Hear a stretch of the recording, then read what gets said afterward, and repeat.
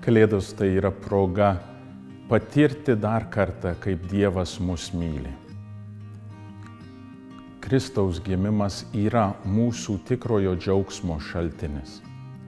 Siekime per šias kalėdas neapsiriboti pasilinksminimais ir linksmybėmis, bet eikime prie to džiaugsmo šaltinio.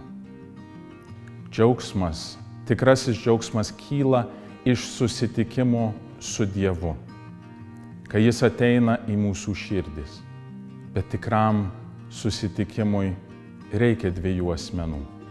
Ar mes esam pasirengę atverti savo namų ir širdžių duris Kristui, tam susitikimui?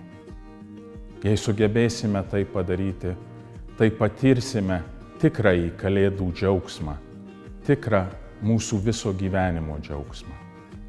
Linkiu, kad per šias Kalėdas patirtumėte tris dalykus.